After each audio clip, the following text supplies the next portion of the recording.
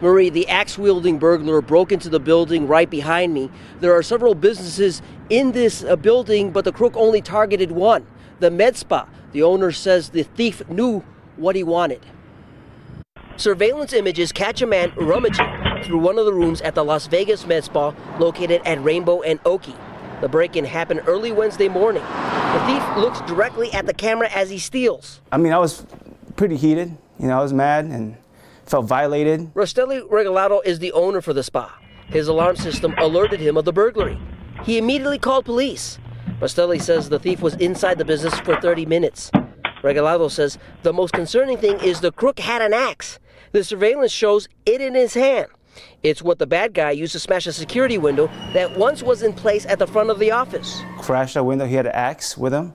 So these guys are armed and they have, you know, they have a weapon. Regalado says the burglary suspect ripped off skin creams like the ones you see here.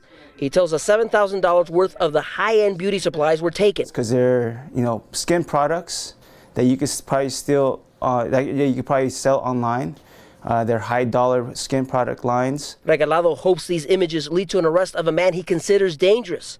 In the meantime, he says it'll take time for his business to recover. People in this industry, they know how much it costs to, to, to buy these products and you know they, they, they bank on really making their money on them. So for, for a business owner, it is it was a big hit. Police want to get this guy off the streets before he enters another place with his axe. If anyone has any information, you are asked to call Crime Stoppers at 702 385 5555. Reporting live, Antonio Castellan, News 3. Antonio, thank